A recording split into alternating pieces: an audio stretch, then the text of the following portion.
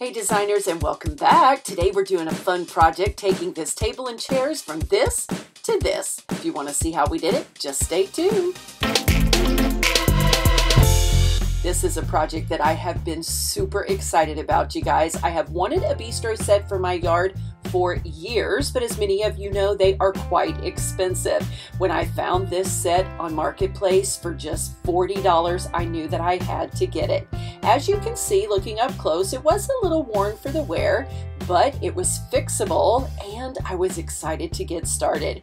I took this wire metal brush and began working on getting all the old debris and chipped paint off of the surface, just trying to make as smooth of a surface as possible before we applied the new paint.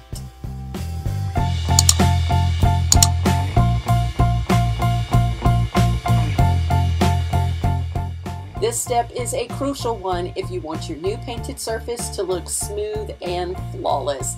This process actually took about two and a half days to get it to the point that we thought that it was smooth enough to look good. Now we were ready to paint. We chose the Rust-Oleum 2-in-1 paint. This is a paint and primer all in one.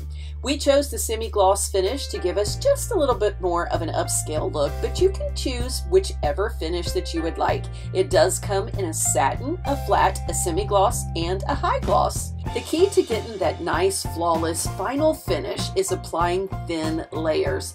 Altogether, it took me three coats. You want to make sure that you are working from side to side, getting in all the crevices, and on a design such as this one, you've got to make sure that you get in between each one of those little details.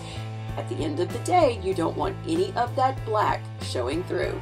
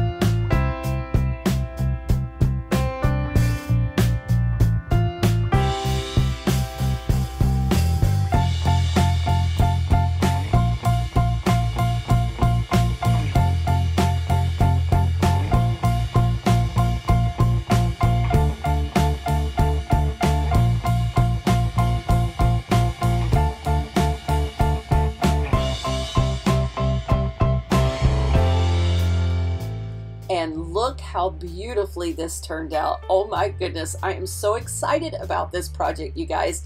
This bistro set is going to look perfect in my rose garden.